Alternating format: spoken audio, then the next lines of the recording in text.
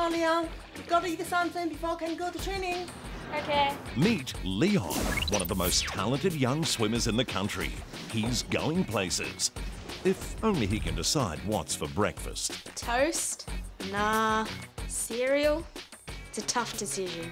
What Leon doesn't know is breakfast is around the corner, being delivered by a world champion. Hi, Leon.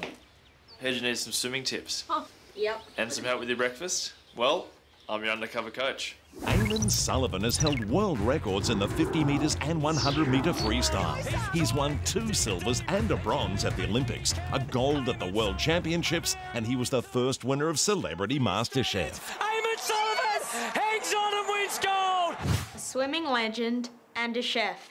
Perfect timing.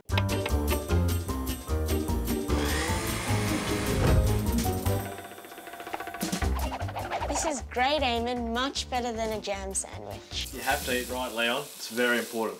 All right, here you go. Wow, that looks amazing. And it's healthy too. All right, I'm here to give you some tips. Are you ready? Yep. Egg yolks ruin meringues. Not cooking tips, swimming tips. Oh, swimming.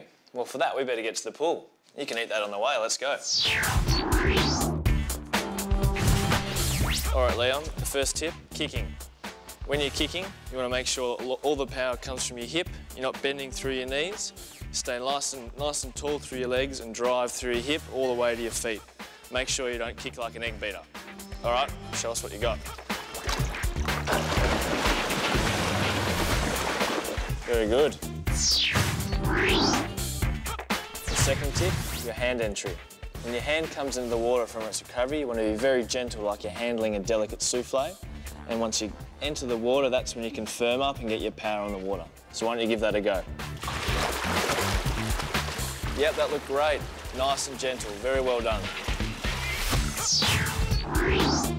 Tip number three, your catch. When you're swimming, you want to make sure that you're not pulling your hand through the water because that's when you don't get any power. You want your hand to get a lot of press and you want to imagine your hand staying still and that you're pulling yourself past your hand, okay? So why don't you, why don't you have a go at that?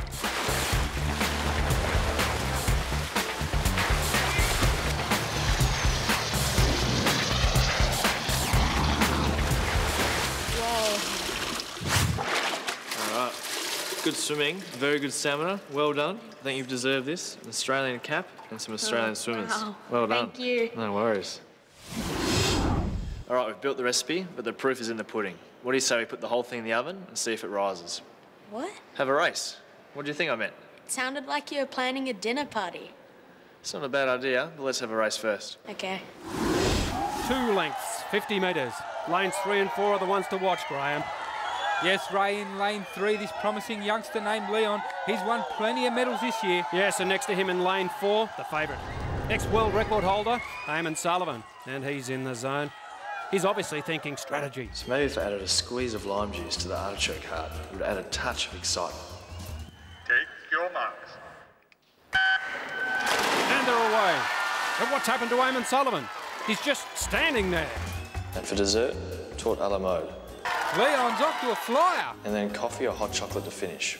Perfect. Finally, Sullivan's in. Oh, but Leon has a big lead.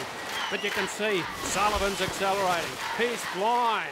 Look at those souffle hands and driving legs. It looks like he's about to turn. Yes, yes, he's turned. But has he left it too late? Sullivan's catching. I think he's going to get him.